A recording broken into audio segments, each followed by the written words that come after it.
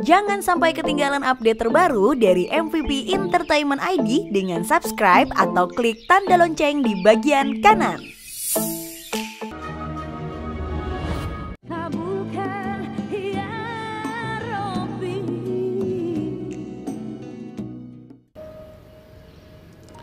Apalagi sebentar lagi lebaran. Tepat sekali kalau ayah berziarah. Iya, ya. Nisa,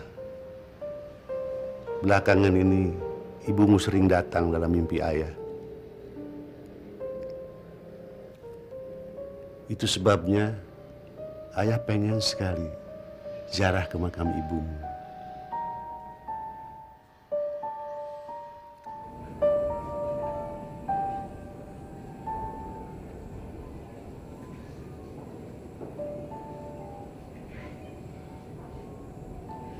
Ada apa lagi, Sarah?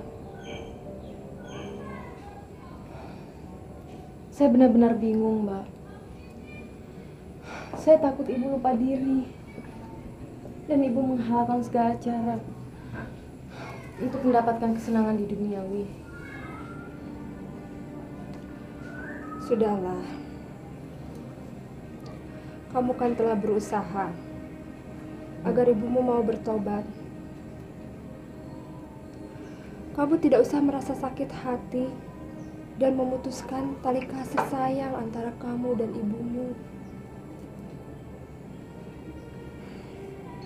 Berusaha selalu dan memohonkannya lah pada yang kuasa. Karena doa anak yang soleh akan dikabulkan oleh Allah Subhanahu wa Ta'ala. Nah, sekarang untuk menenangkan hati kamu, sebaiknya kamu tinggal di sini dulu. Ya? Makasih, Mbak. Makasih.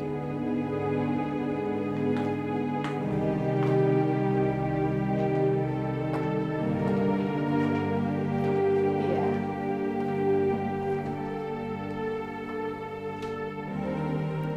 Apa hidup belum telepon juga? Coba kamu telepon ke rumahnya. Siapa tahu dia sakit. Nggak ada yang angkat, Bu. Dia telepon ke rumahnya. Nggak mungkin deh Edo sakit. Kalau dia sakit, dia pasti telepon Tia, Bu. Ke mana ya, Bu, ya? Edo, Bu, ya? Apa dia marah sama Tia, Bu?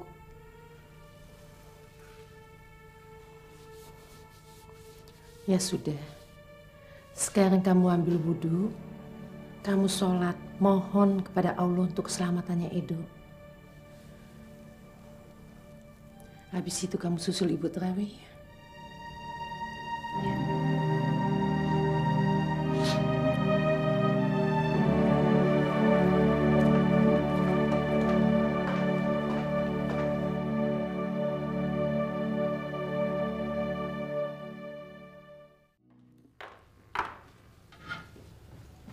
Assalamualaikum.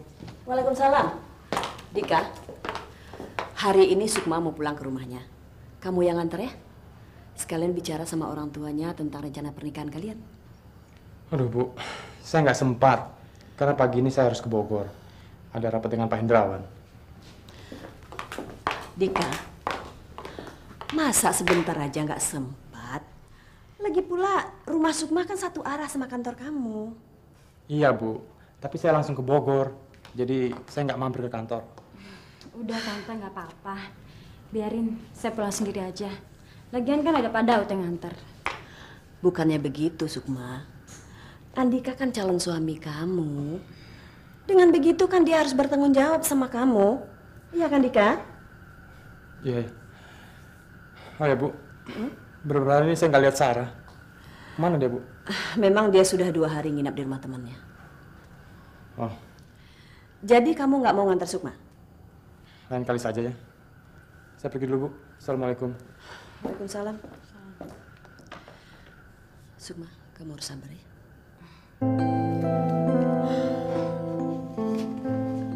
Saya pengacara Pak Edo. Silakan duduk. Ya. Saya yang akan mengurus semuanya, Dok. Iya. Jadi kalau boleh saya tahu, bagaimana keadaan Pak Edo saat ini, dok? Kami belum bisa memastikan sejauh itu, Pak. Saat ini, operasilah yang kami lakukan untuk menyambung urat-uratnya. Setelah itu kami memberikan fisioterapi untuk penyembuhannya. Eh, jadi berapa persen kemungkinan untuk sembuh dan bisa berjalan kembali, dokter? Ya, 50-50 tergantung usahanya untuk sembuh, Pak. Bisa saya bertemu Pak Edo? Silakan.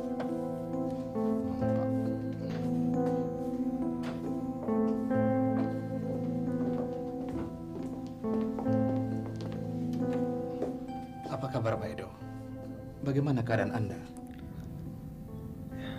Lumayan Pak Daniel. Hasil rongsen Anda sudah kami periksa. Ternyata terdapat tulang punggung yang retak dan saraf yang putus. Namun Anda jangan khawatir, kami akan berusaha supaya Anda lekas sembuh. Tapi dok, kenapa kaki kanan saya sering sekali kesemutan dan terasa kebal, susah digerakkan.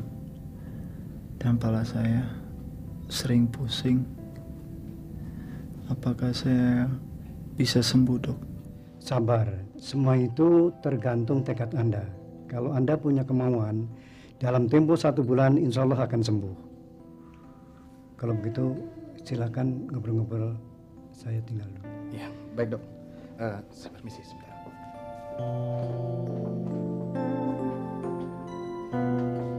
Vic, Iya, Pak. saya mohon kamu jangan bilang siapa-siapa ya tentang keadaan saya. Kalau saya ini sudah lumpuh. Apalagi Cynthia bilang sama dia, saya pergi entah ke mana. Iya, Pak. Vic, tolong saya.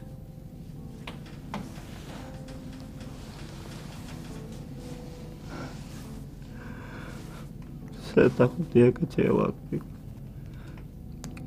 Dan menaruh belas kasihan terhadap saya. Berbulan-bulan saya mengharapkan cintanya. Tapi di saat saya sedang menunggu jawaban darinya, saya mengalami kecelakaan. Saya takut. Saya takut dia bahkan tidak menyukai saya lagi. Bapak jangan berprasangka seperti itu. Non Cynthia cintanya begitu tulus pada Bapak. Jadi, susah maupun senang, pasti Non Cynthia masih mencintai Bapak dan menerima cinta Bapak. Tidak, Vic. Dalam keadaan normal, dia masih ragu dengan saya. Apalagi dengan keadaan seperti ini, dia pasti kecewa. Vic, Ya, Pak. tolong lakukan apa yang saya katakan. Iya, Pak. Saya mohon sama kamu ya, Vic. Saya akan merahasiakan ini, Pak.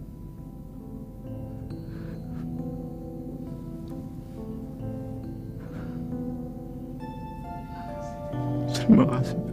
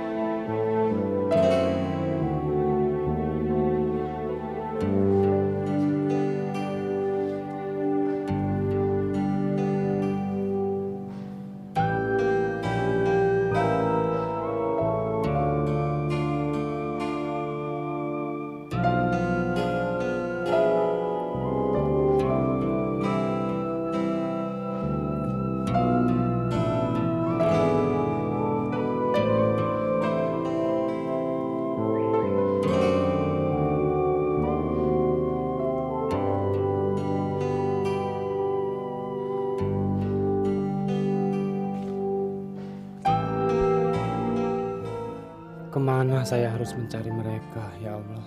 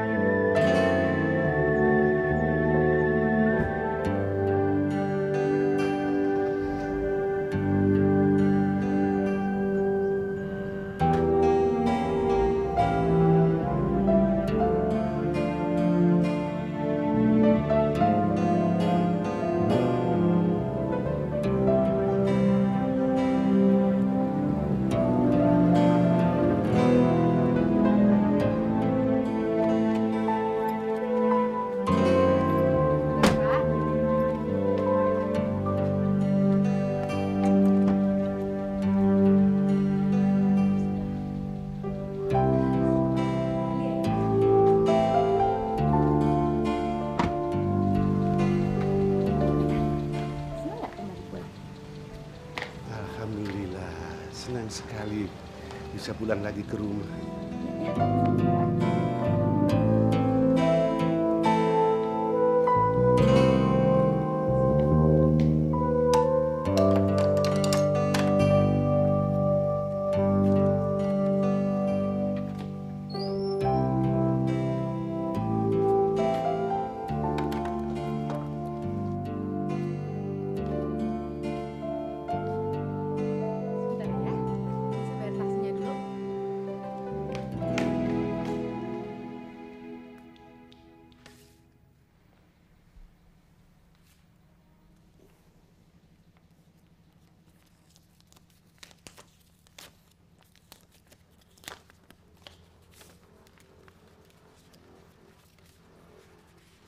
Saya mewakili Andika untuk menyampaikan surat perceraian yang harus kamu tanda tangani.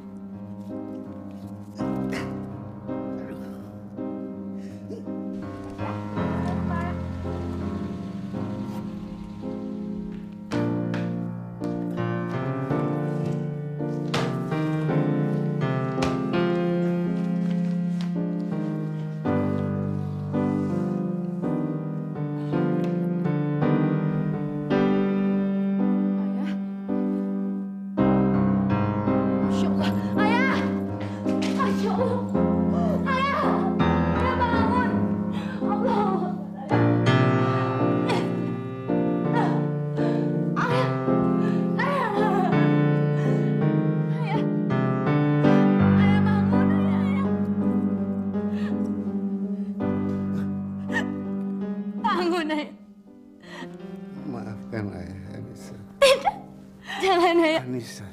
Jangan bicara seperti itu, ayah. Nisa sayang sama ayah.